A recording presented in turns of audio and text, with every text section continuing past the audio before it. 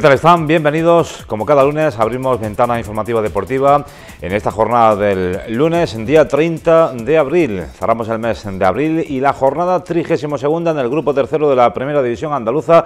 Restan solo dos jornadas, algunas categorías con tres jornadas que aprovecharán el día festivo 1 de mayo para jugar la antepenúltima jornada de liga. El próximo 13 de mayo concluye la temporada para todas las categorías. Ya saben que en la provincia de Jaén el grupo señor de la regional preferente jienense y los dos grupos de la primera provincial finalizaron el pasado fin de semana con los equipos que ya comentamos que han conseguido su objetivo de ascenso, otros eh, no han podido eludir el ascenso de categoría. Y ya están de hecho estos equipos inmersos en las primeras eliminatorias de la Copa Subdelegado del Gobierno 2012 que arrancó este pasado viernes con un único encuentro, siguió el sábado y el grueso de la primera eliminatoria, partidos de ida se disputó ayer domingo, así también como el resto de encuentros del grupo tercero de la primera división andaluza que ya está en la recta final de la temporada.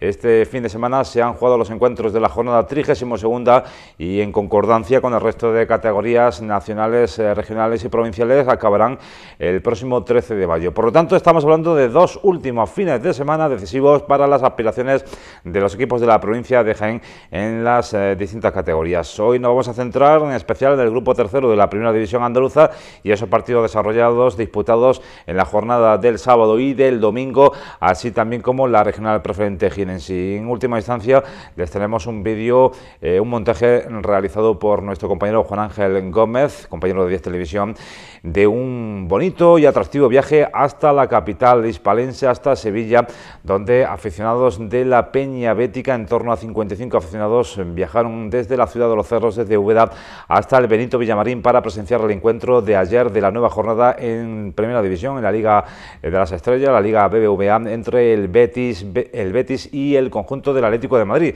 Finalmente empate a dos, cuatro goles pudieron disfrutar los 38.000 espectadores que ayer presenciaron este encuentro en el Benito Villamarín en Betis. Eso será última hora, como decimos. Vamos a entrar en materia y vamos eh, con el fútbol provincial, con los equipos de nuestra provincia y los resultados registrados de la jornada 32 en el grupo tercero de la primera división andaluza, que fueron los siguientes: Malaca Club de Fútbol 2, Carolinense 1, Alaurino 1, Villacarrillo 2, Linares Deportivo 2, Rincón de la Victoria 0, mm, Real Jaén 3, Baeza Club de Fútbol 0. Este fue uno de los partidos destacados de la jornada eh, para eludir el descenso. Torremolinos 3, Churriana 0, Úbeda Viva 3, Atlético de Coín 1, Barrio de Nuestra Señora Remedios 1, Atlético en Amiel 0 y Dos Hermanas San Andrés 2, eh, fue Girola Los Boliches 0. Descansó en esta jornada el conjunto de la Alameda, puesto que el Atlético Marbellí eh, decía adiós, se iba en plena competición, se retiraba de este grupo tercero de la Andaluza. A falta de dos jornadas, seis puntos para la conclusión de la temporada la clasificación queda de la siguiente manera. Líder el Linares Deportivo con 80 puntos. Villacarrillo un punto por debajo, 79. La liga está el próximo fin de semana en ese derby que se va a jugar en el Municipal de Veracruz. Villacarrillo, Linares Deportivo a las 7 y media de la tarde. Ahí estaría el ascenso directo de uno de estos dos equipos al grupo noveno de tercera división para la próxima temporada. Tercera posición para el Torremolinos con 76 puntos. Aspira a esa opción de liga de ascenso, al igual que el Dos Hermanos San Andrés que tiene 75 puntos. Quinta plaza para el Alorino, 55 puntos. Atlético de Coín, 50 puntos. Úbeda, séptimo clasificado, 45 puntos. Octava clasificación para el Atlético Benamiel con 43. 42 Fuengirola Los Boliches, 41 Churriana. Carolinense, 40 puntos. Rincón de la Victoria, 36 puntos.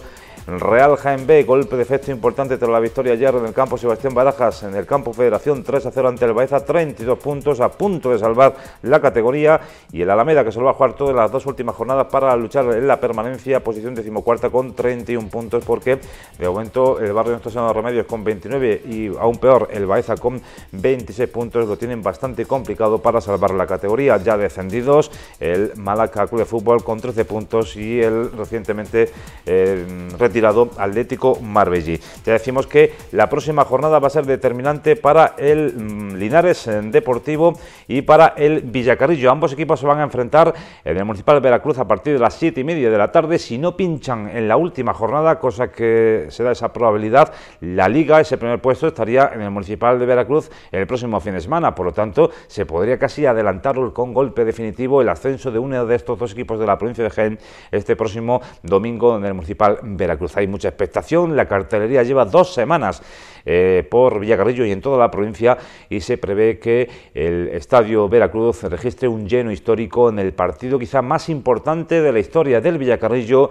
y trascendental sin duda para un nuevo equipo, Linares Deportivo, que quiere un año más otro ascenso y recuperar la categoría nacional a partir de la próxima temporada 2012-2013, en concreto con el grupo noveno de tercera división.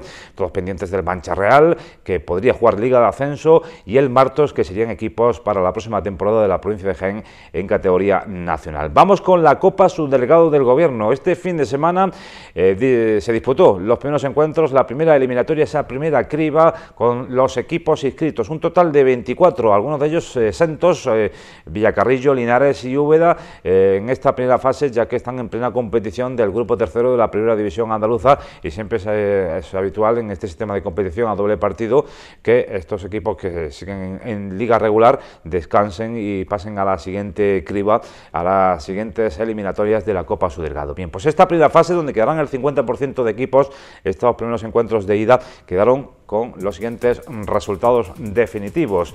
Atlético de Jaén 0, Villalgordo 3. Este partido se adelantó a la jornada del pasado viernes. El sábado, Villanueva del Arzobispo 1, Nava de San Juan 2. Y el domingo, resto de encuentros, Escuela Municipal de Jodar 2, Club Deportivo Rus 2, Orcera 0, Santisteban del Puerto 1, Valdepeñas 1, La Guardia 1, Torre Perojil 1, Atlético de Serviete 1, Mágina Norte 2, Veteranos de Alcaudete 1 y Fuensanta 2, Los Villares 1. Resultados muy cortos, muy ajustados, que van a ser decisivos para los encuentros de vuelta que se disputarán el próximo 6 de mayo, eh, mismos emparejamientos pero cambiando de campo ya los partidos de vuelta para definir el 50% de equipos que pasan a la siguiente fase de la Copa Subdelegado del Gobierno. Suerte a todos en esta eliminatoria y de ella pues se irán uniendo los restantes equipos exentos de la Copa Subdelegado del Gobierno que cumple 66 años.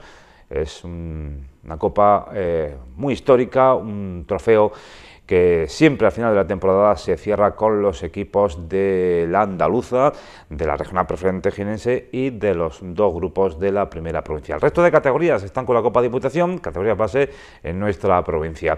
Vamos a empezar hablando con del Úbeda y de ese partido disputado ayer en el campo municipal de San Miguel de Úbeda. El Úbeda realizaba su penúltimo encuentro en casa, penul, antepenúltimo de la temporada, ante el conjunto malagueño del Atlético de Coín, que junto con el Úbeda ocupan los eh, sexta y séptima posición en la tabla respectivamente, ambos tranquilamente en esta recta final con el objetivo cumplido de permanencia, están en tierra de nadie, han conseguido ya los suficientes puntos eh, para mantener la categoría de sobra y bueno, en este caso lejos de esa opción de jugar Liga de Ascenso, eh, ambos equipos desarrollaron ayer en el campo municipal de San Miguel un partido bastante tranquilo, donde principalmente la segunda parte fue realmente espectacular para el Úbeda que según su técnico y los pocos aficionados que se desplazaron en la mañana complicada, lluviosa, fría de ayer domingo disfrutaron posiblemente de uno de los mejores partidos que se han disputado en esta temporada en el campo municipal de San Miguel. El Úbeda que salió de principio con Valero bajo la portería, Blas suplido por José Alberto en el minuto 55, José Daniel, Juan, Rafa Raez, eh, Serrano, Pichic, suplido por Caminero en el minuto 76, Alfredo Juan Lu por Manolillo en el 55, Rubio y por Carlos en el minuto 78. El Atlético de Coín, el conjunto malagueño, Alex bajo la portería, Zurita, José Alberto, Lares, Millán, Gillo, Diego, Fede suplido por Salvi en el minuto 66, Gonzalo por Juan en el minuto 81, David Ibera. El árbitro del encuentro, Navajas Chardín de Granada, amonestó a los jugadores locales Blas, Manolo, Manolillo y Juan y a los visitantes Gillo y Gonzalo. El partido correspondía a la jornada 32 segunda eh, antepenúltimo de la temporada, en el grupo tercero de la primera división andaluza, todo este partido en el San Miguel, en el Estadio Municipal de San Miguel, con un poquito, como ya hemos eh, reseñado, público en las gradas del Municipal de San Miguel. El Úbeda, como hemos comentado, consiguió una importante victoria ante el Atlético de Coim en un primer tiempo con escasas ocasiones de gol por ambos bandos. Quizá el Úbeda tuvo dos o tres ocasiones, pero las determinantes se realizaron en el segundo tiempo. Las segunda parte que fue decisiva para la victoria betense y especialmente tras los cambios introducidos por el técnico betense Víctor Espósito. Salieron los delanteros José Alberto y Madolillo en el minuto 55, ese doble cambio, eh, cambió la estrategia del equipo eh, verde y blanco y nada más, un minuto después, parece que este cambio aposta a propósito de Víctor Espósito, eh, entre dos delanteros eh, goleadores del equipo, eh, dio esa reacción al delantero Zeki que materializaba el primer tanto en el minuto 56. Llegaba ese primer gol que daba la ventaja momentánea al conjunto betense a través de Zeki, decimos en el minuto 56. Cuatro minutos después llegó el 2 a 0, el gol que transformaba Manolillo eh, nada más salir, eh, cinco minutos después, salió en el minuto 55 como hemos indicado por Juan Lu, y cinco minutos después, cuatro después del gol de Zeki, eh, realizaba en el minuto 60 el 2 a 0 y por lo tanto se ponía el encuentro muy de cara para el equipo verde y blanco que conseguía de esta forma unos tres puntos valiosos para mejorar su clasificación, eh, intentando igualar eh, la campaña pasada, la 2010-2011, donde quedó el conjunto verde y blanco en la séptima posición, precisamente en la posición que ocupa en la actualidad, eh, con esos puntos necesarios, suficientes, de sobra, va el Úbeda ya relajado en la séptima posición para esa permanencia lograda, consumada hace ya algunas semanas. En concreto, el equipo verde y blanco con 32 partidos disputados. De ellos, eh, ayer consiguió la duodécima victoria de la temporada, 9 empates, 11 derrotas, 39 goles a favor, 38 en contra, un total de 45 puntos. El Úbeda se permite las dos últimas jornadas para eh, presentarse a esta Copa Subdelegado del Gobierno de la forma física mejor posible eh, e intentar igualar hace dos temporadas, dos años o tres ya en este caso, donde el Úbeda llegó a esa final frente al conjunto del Vilches. Eh, perdiendo la tanda de penaltis porque recuerden que las dos últimas copas subdelegados del gobierno lo protagonizaron Linares y eh, Linares Deportivo y Real Jaén B. En los dos últimos años llevó el gato al agua el conjunto eh, linarense, alcanzando los dos últimos títulos, podría ser y parte como favorito en esta 66 edición por tercer año consecutivo para alzarse con la Copa Subdelegado del Gobierno, pero hay que jugar todos los partidos, hay que jugar este torneo del caos, como decimos en nuestra provincia, y de ahí pues se determinará eh, la final que aún queda por definir el campo dependiendo de los rivales en el mes de junio cuando acabe por completo toda la temporada con esta copa como colofón, con la copa subdelegado del gobierno. Tras el 2 a 0 continuamos con el partido de, del Úbeda, el conjunto verde y blanco ya tenía el partido metido en el bolsillo, aunque en este caso hubo cierta incertidumbre porque Juan derribó a Gonzalo en el área señalando el colegiado del encuentro, eh, Navaja Chardín eh, de Granada, eh, la pena máxima, un gol que transformaba a Millán dejando, como decimos, con incertidumbre el marcador, aunque fue tras este penal tras este 2 a 1, un espejismo, ya que un minuto después eh, Millán conseguía en el 75 el 2 a 1 y dos minutos después José Alberto de penalti en el minuto 77 un penalti que le realizaban al delantero Manolillo marcaba el definitivo 3 a 1 desde los 11 metros y por lo tanto victoria holgada, victoria tranquila del Úbeda ante un Atlético de Coín que está también al igual que el conjunto verde y blanco en la mitad alta de la tabla clasificatoria. En línea de vestuarios tuvimos en la ocasión la oportunidad de preguntarle a Víctor Espósito qué tal le pareció al técnico ubetense, al máximo responsable técnico del partido. Están sus palabras con respecto al choque de ayer. Quizá para él eh, un encuentro de lo mejorcito que se ha visto en el San Miguel, eh, jugando por bandas, eh, un partido que apenas tuvo como protagonista un balones aéreos, jugando y transando bien esas jugadas que finalmente el Úbeda supo aprovechar para la victoria por 3 a 1. La juventud los jóvenes jugadores eh, que empleó Víctor Espósito fueron determinantes una vez más para la victoria ubetense, eh, como nos comentaba el propio técnico Víctor Espósito.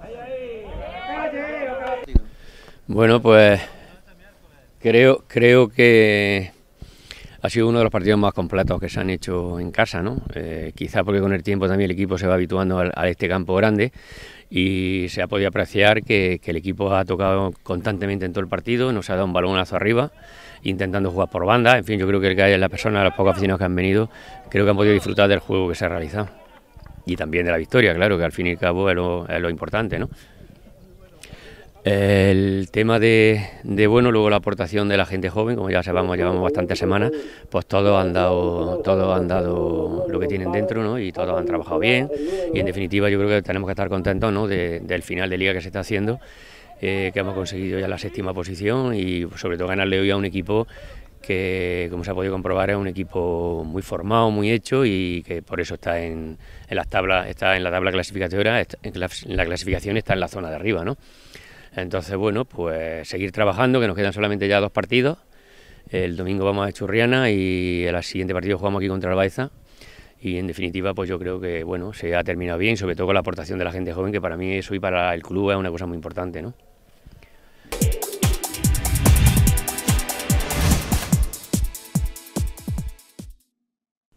Continuamos con más partidos. Como ya hemos indicado al principio de la programación deportiva, el partido estrella estuvo en la jornada ayer domingo a las 4 de la tarde en el campo Sebastián Barajas, del campo Federación, donde Real Jaén B, el conjunto de Manolo Chumilla y el equipo de Roberto Romero, el Baeza Club de Fútbol, se jugaban gran parte de posibilidades de cara a la permanencia en esa lucha que mantienen ambos equipos de la provincia de Jaén con el resto que eh, también luchan por la permanencia, en este caso de la provincia de Málaga. Lo que peor lo han pasado en esta temporada, ya saben, ha sido el Real Jaén B y el Baeza ha remendado en las tres últimas jornadas el conjunto de Manolo Chumilla hasta tal punto de que gracias a esos nueve puntos alcanzados se alejan de la zona de descenso directo y un des más si cabe al Baeza que venía de perder 2 a 0, 0 a 2 en el eh, Municipal Baezano hace dos fines de semana frente al eh, líder, frente al Linares Deportivo y ayer domingo con el Real Jaén en una de las eh, pocas posibilidades que les quedaba al conjunto de Roberto Romero de cara a mantener la categoría. Se complica seriamente, tendría que el Baeza ganar los dos encuentros que le quedan y juega el próximo ante un gran y complicado rival, el Torremolinos que lucha por la tercera posición eh, que no arrebate el de San Andrés esa situación propicia para jugar playoff de ascenso. Y la última jornada el conjunto baezano jugará en el Municipal de San Miguel frente al Uida, quizá aquí el Uida algo más relajado porque ya tiene hecho los deberes, no sería quizá tan complicado, pero la siguiente traba la tiene el Baeza, el conjunto de Roberto Romero, el próximo domingo frente al Torremolinos en el Municipal Baezano. Por cierto que el partido sin el cambio será a las 12 del mediodía, partido matinal de la penúltima jornada de liga donde el Baeza se despedirá de su afición y esperemos que no con el descenso matemático ya consumado, está cerca, tiene muy pocas posibilidades, un auténtico milagro salvaría al equipo de Roberto Romero para salvar eh, la categoría. Tendría como decimos ganar los dos últimos encuentros y esperar los pinchazos del Alameda o incluso hasta del Real Gen. Vamos con el conjunto jienense, eh, con los dos conjuntos jienenses, puesto que se trató de un derby provincial, el Baeza Club de Fútbol que salió con la intención de conseguir los puntos en litigio, pero el Real Gen B no quiso sorpresas y gracias a los dos primeros goles de Adri, el primero de ellos conseguido nada más comenzar el partido, en el minuto 1 eh, ya eh, mandaba en el resultado el Real Jaén B, cerraba el primer tiempo con esa victoria momentánea del equipo jienense, el Baeza lo intentó en el primer tiempo, pero eh, tras el gol de Adri en el minuto 61, ya en el segundo tiempo el Baeza dio su, brazo a torcer y finalmente con el definitivo 3 a 0, nueve minutos después, en el minuto 69, Mario certificó la victoria del Real Jaén, del conjunto de Manolo Chimilla, que lo está haciendo tan bien que va a ser el equipo que posiblemente va a salvar la categoría en contra a un Baeza que luego va a tener muy complicado para eh, salvar dicha categoría. Vamos a dejar el fútbol y nos eh, vamos a centrar a continuación en un deporte extremo, extremísimo diríamos nosotros para este próximo 12 de mayo. Y es que es una de las carreras más populares de más participación que se realizan en la comunidad autónoma de Andalucía siempre sobre el mes de mayo, en este caso coincide el sábado 12 de mayo, se va a disputar la decimoquinta edición de la carrera 101 kilómetros de la Legión en Ronda, por plena serranía de Ronda, un equipo de Úbeda, de atletas eh, de Úbeda, van a realizar en esta prueba extrema el próximo 12 de mayo eh, la carrera 101 kilómetros de la Legión de Ronda. Con ellos estuvimos. Hoy nos acompañan aquí en 10 Televisión tres de los muchos participantes que van a estar en esta prueba del próximo 12 de mayo, del próximo mes. Y es que sin duda es una de las pruebas, eh, como decimos, extremas que se celebran en Andalucía y que eh, tiene gran expectación. De hecho, el pasado año el número de, inscripciones llegaron a ser más, superando los 7.000 eh, corredores, los que realizaron una de las muchas pruebas que se realizan porque desde el año 1995 se están realizando pruebas pruebas eh, que se van añadiendo, prueba de marchadores, dualón, marcha por equipo, bicicleta de montaña y ahora no, pero antiguamente también se hacía esta marcha a caballo.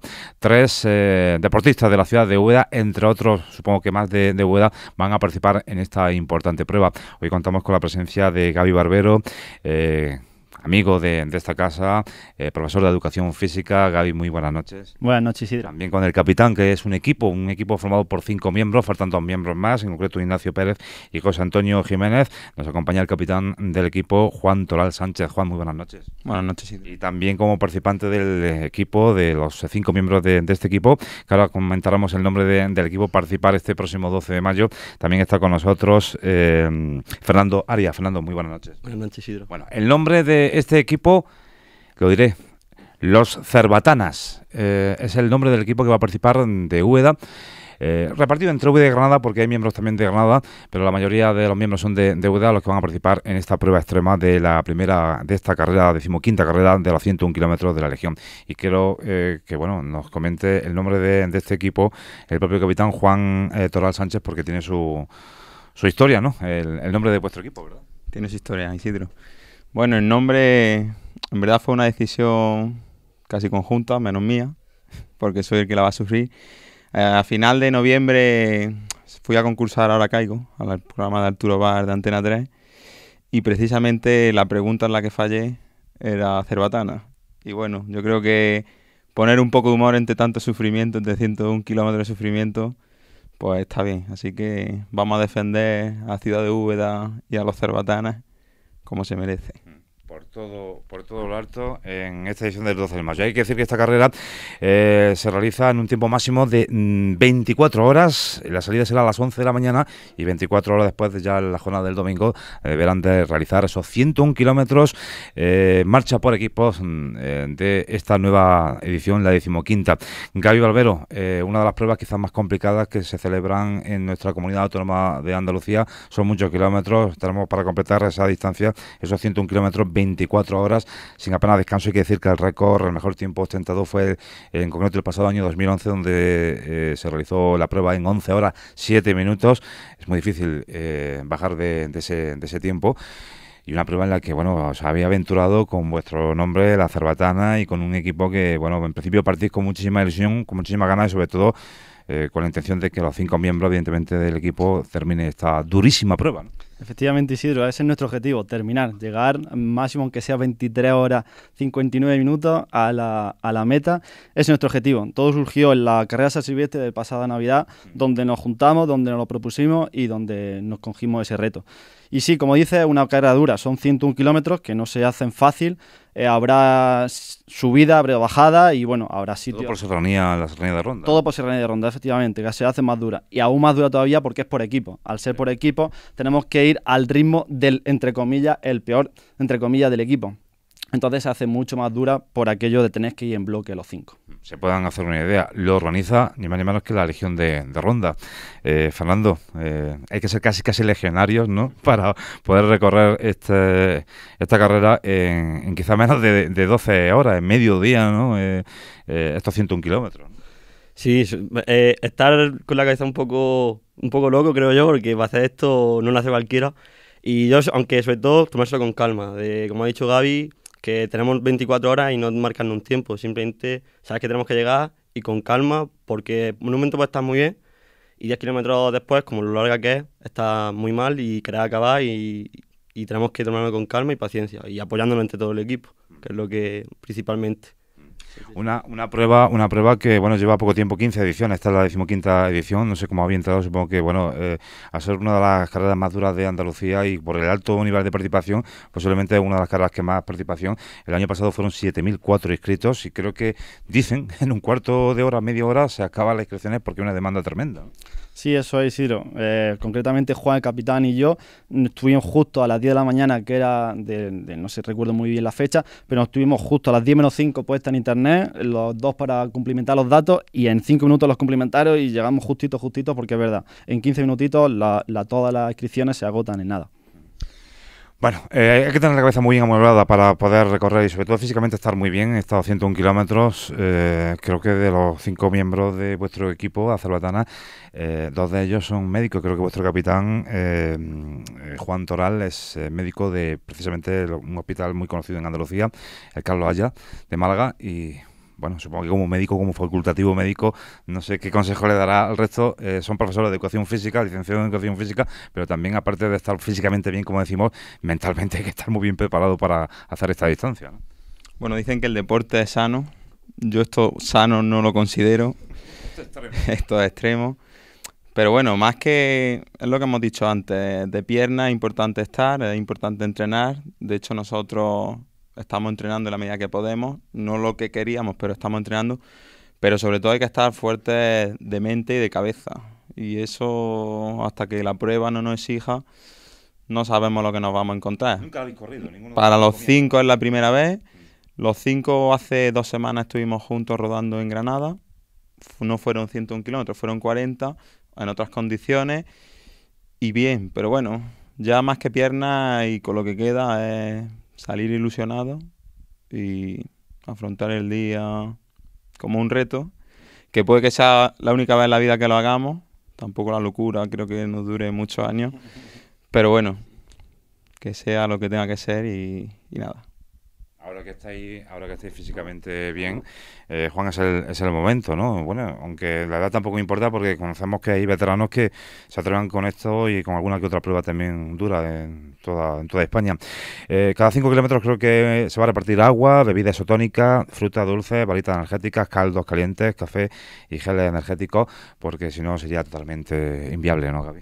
Sí, eh, la Legión la verdad es que está ahí en cada punto de avituallamiento, organizándolo y a todo, a todo más no poder. Y sí, es necesario porque 101 kilómetros se puede hacer mucha cuesta arriba, aparte de las propias cuestas, se puede hacer mucha cuesta arriba si no hay apoyo así. Aparte nosotros también, bueno, llevaremos, como es lógico para la noche, nuestro abrigo y demás, ¿vale? Pero es necesario un apoyo. Sí, sí, Poco tiempo tendremos para descansar. De hecho, bueno, en 24 horas yo creo que ni una pequeña setecita, ¿no? Hay que ir a trote prácticamente casi todos los 101 kilómetros, ¿no? Lo, justo para pararte y comer algo y que no te enfríes, sobre todo en el momento de que se eche la noche encima y que en el kilómetro 70 creo recordar que hay un puesto de atollamiento con comida caliente, te dan un caldo, lo que sea. Entonces, ese es justo momento de pararte, abrigarte para no enfriarte y que puedas pasar lo peor.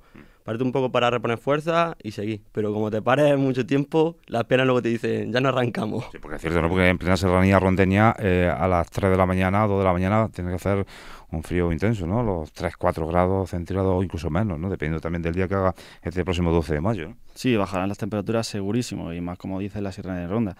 Allí puede estar durante el día a lo mejor 20 y tantos grados, pero luego uh, desciende, desciende bastante, bastante. Bueno, pues desde aquí animamos eh, a este equipo, a las Cerbatanas, cinco miembros de, este equipo que va a representar a la ciudad de Úbeda, la ciudad de los Cerros, en esta decimoquinta carrera, 101 kilómetros de la Legión en Ronda. Apunten esta fecha, 12 de mayo, hay que cumplirlo, es todo, 101 kilómetros en 24 horas, en un, en un día. Empezarán a las 11 de la mañana del próximo 12 de mayo, sábado, y a las 12 eh, de la mañana eh, u 11 de la mañana finalizará la, prueba. Eh, regreso a Úbeda y a ver cómo, cómo regresamos, ¿no, Juan? Corriendo, ¿no? Muy bien, muchísimas gracias por estar con nosotros y muchísima suerte en ronda, ya nos contaréis, ¿eh? Muchas gracias. gracias.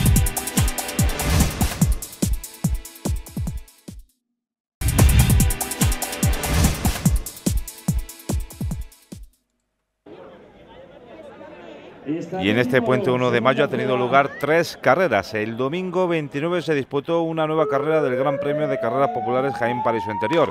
La duodécima carrera urbana Villa de Ibros. Cerca de 300 fueron los atletas que tomaron parte en este domingo en la duodécima carrera urbana Villa de Ibros, una cita deportiva que venció al mal tiempo y aglutinó a un elevado número de deportistas y también aficionados que pese al frío y a la lluvia de la jornada acompañaron a los participantes a lo largo del recorrido. Esta prueba, la quinta de las 17 que componen el cuarto Gran Premio de Carreras Populares Jaén Paraíso Interior de la Diputación Provincial de Jaén, dio comienzo a las 12 de la mañana en el Paseo de Santa Margarita de Ibros con un itinerario rápido pero exigente debido a las continuas subidas y bajadas. El primero de los atletas masculinos en traspasar la línea de meta fue Abdehadid el Mobaiz que eh, realizó una carrera con un tiempo de 16 minutos y 28 segundos, lo que supuso una ventaja de 22 segundos respecto al corredor que quedó en segundo lugar, Miguel Ángel eh, Ruiz del Club de Atletismo Unicaja. El mismo día también se celebró la tercera carrera urbana de la Carolina y coincidiendo con las fiestas en honor de la patrona de nuestra localidad, hoy lunes 30 de abril se ha disputado la primera carrera pedestre Virgen de Guadalupe con la colaboración del Club de Atletismo Arreolion Ciudad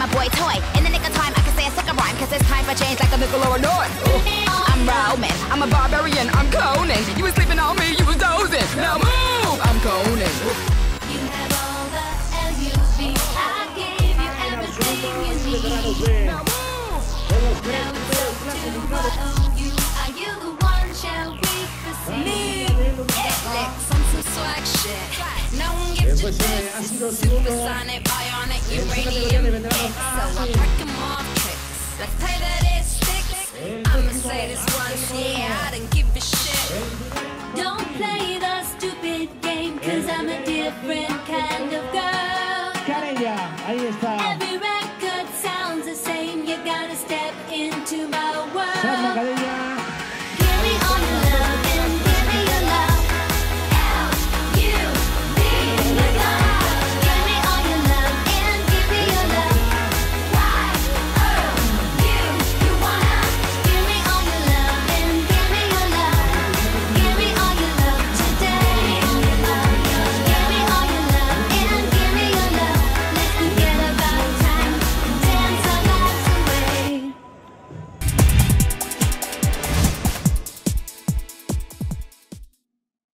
Y más fútbol en el cierre de Deportes 10 Televisión.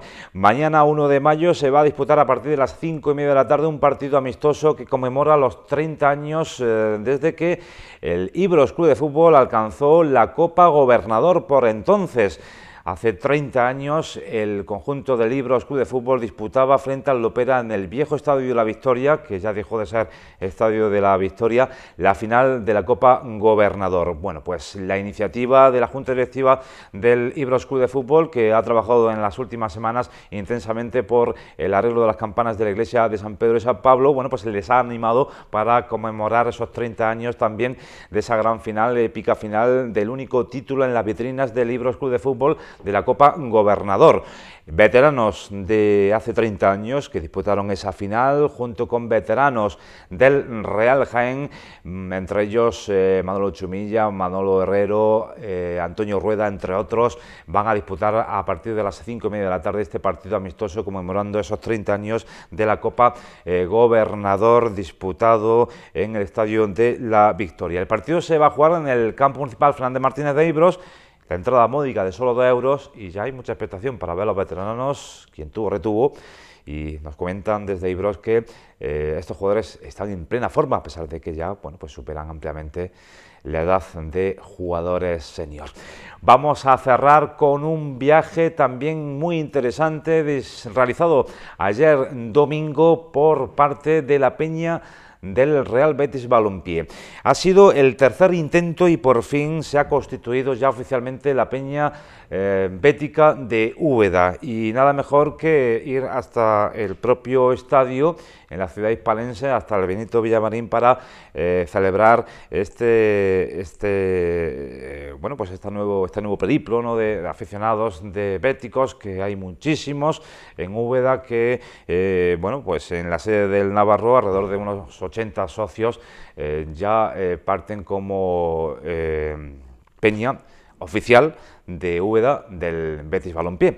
Ayer desde las 9 de la mañana, desde el Estadio Municipal de San Miguel, un autobús rumbo hasta la localidad cispalense, hasta Sevilla, hasta la capital de Andalucía, para presenciar el encuentro de la jornada 36. El partido Betis Atlético de Madrid en el billeto Villamarín de, de Sevilla. El encuentro comenzó a las 8 eh, menos cuarto de la tarde de noche y bueno, pues esos 38.000 espectadores que presenciaron este encuentro de la nueva jornada en la Liga BBVA, Betis Atlético Madrid pudieron disfrutar de buen ambiente, sobre todo de muchos goles. 2 a 2 fue el resultado final, cuatro goles, reparto de puntos entre un Betis que ya está salvado y que complementa las tres últimas jornadas que quedan de la Liga Profesional de Fútbol, la Liga BBVA eh, con la permanencia alcanzada después del ascenso conseguido la pasada temporada. Es un vídeo que ha realizado Vicente Ruiz, miembro de la Peña Bética de Úbeda. Ya saben que su presidente Gerardo no falta estas citas deportivas y animaron a esos 55 aficionados de Úbeda, socios que participaron en este viaje para ver el encuentro de ayer. Salieron a las 9 de la mañana eh, de ayer domingo, llegaron a Sevilla a eso de la una y media del mediodía y la llegada, lo peor, eh, 3 de la mañana, eh, llegaron hasta la ciudad de Hueda con ese empate eh, a dos entre el Betis y el Atlético de Madrid. Un vídeo realizado, como decimos, por el amigo Vicente Ruiz, el montaje de nuestro compañero de 10 Televisión, Juan Ángel Gómez, es el argumento que cierra hoy nuestra promoción deportiva, animando a todos los socios, a todos los aficionados, a todas las peñas que se pongan en contacto con nosotros y nos manden aquellos vídeos curiosos de partidos de primera división eh, para cerrar este informativo de deportes. Con este reportaje les dejamos y le emplazamos hasta dentro de siete días de nuevo en 10 Televisión. El próximo lunes volvemos con más actualidad deportiva. Disfruten de la semana. Hasta entonces.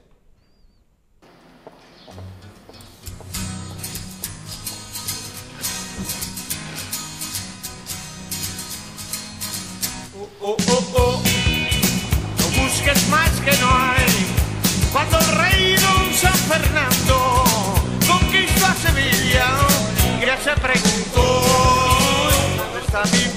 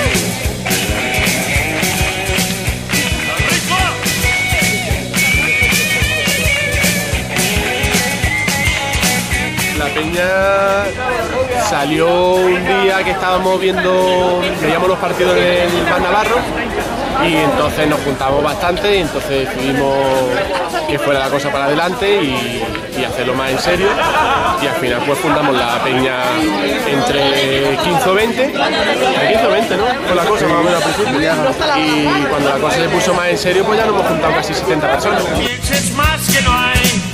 Cuando yo yo me dije sí. Explícalo, explícalo otra vez que no me he enterado. Explícalo otra vez que no me he enterado. Que tenemos dos tiras un euro, tres tiras cinco euros.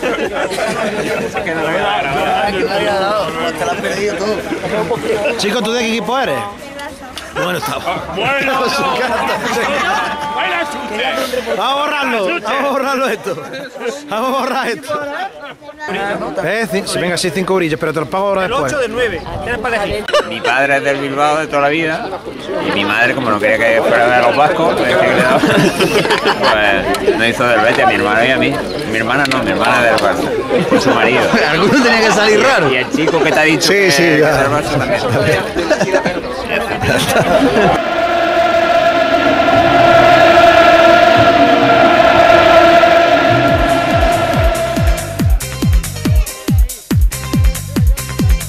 Segundo que se lleva a suicidar desde la girarda. Que me suicido. De. Se pone que me suicido. Dice, hombre, no se suicide usted. Que me suicido. Venga, los bomberos, venga. El psicólogo de los bomberos, venga, la escalerilla allí. Y se pone allí el psicólogo a hablar con él y dice, hombre, no se suicide usted, piensa usted en su mujer. Y dice, ¿qué? Mi mujer se ha ido con otro. ¿Qué me tiro? Que no se tire usted, hombre. Y dice, hombre, piensa usted en su hijo. Mi hijo, mi hijo en la cárcel y mi hija prostituta. ¿Qué, qué me tiro? Ya no tenía más salida el psicólogo y siempre piensa en Curro Romero. Dice, Curro Romero, mira, esto no me gusta. Dice, ya el psicólogo dice, ya en esta calle. Dice, hombre, piensa tú en el Betis. Dice, ¿qué Betis, Betis, Betis, tanto Betis? Soy del Sevilla. Si yo soy del Sevilla, dice, entonces tírate eso.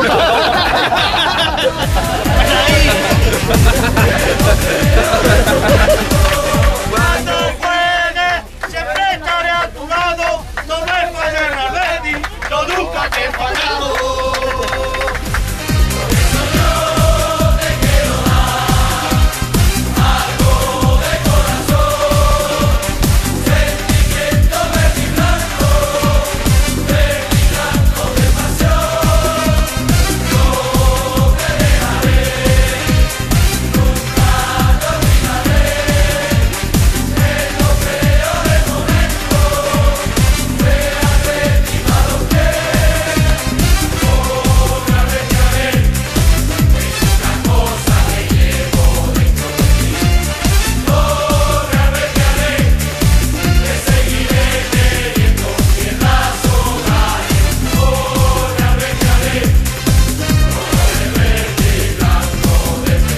Pero, ¿por qué era del Betis? Ah, alguien- A ver. Porque toda mi familia, casi toda mi familia de Betis me han inculcado ese, ese sentimiento.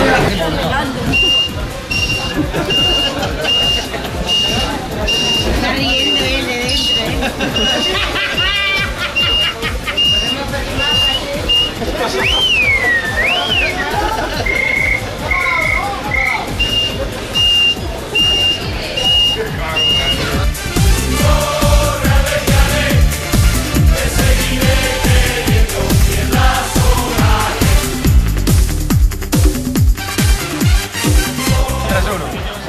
Ah, bueno, vale, vale. ¿Y tú? Mira, el único partido que en Sevilla lo mismo. ¿Qué que ganar el? Tú que ganes el Betis y ya está. ¿El Atleti? Pero si ahora usando el Betis.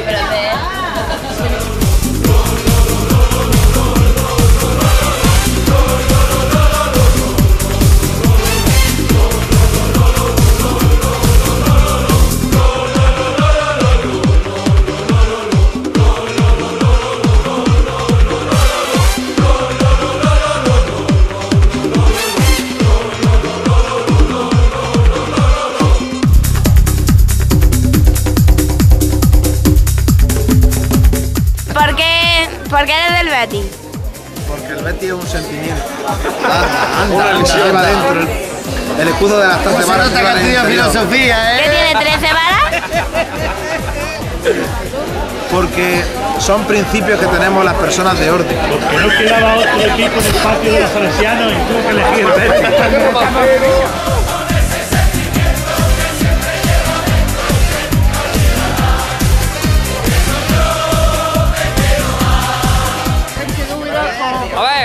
de Peñarroya, Córdoba. Ah, ¿qué te parece el Betis? El Betis es el mejor del mundo entero. Di un resultado. Eh, 3-1. Tu guapo ahí. No echa porra ni nada, pero el Betis gana hoy 3-0.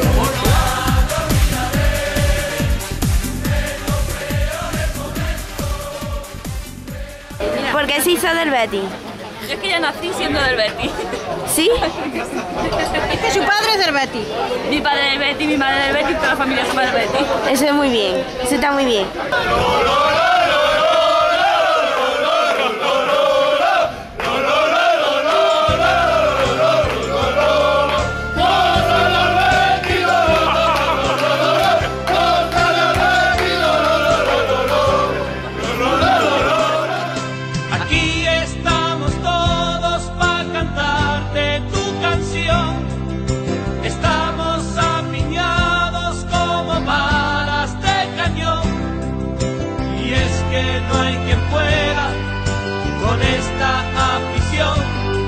Y aunque